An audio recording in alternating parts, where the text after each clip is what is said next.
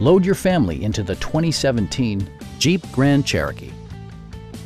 It features an automatic transmission, rear-wheel drive, and a refined six-cylinder engine. All of the premium features expected of a Jeep are offered, including voice-activated navigation, a built-in garage door transmitter, automatic dimming door mirrors, and cruise control.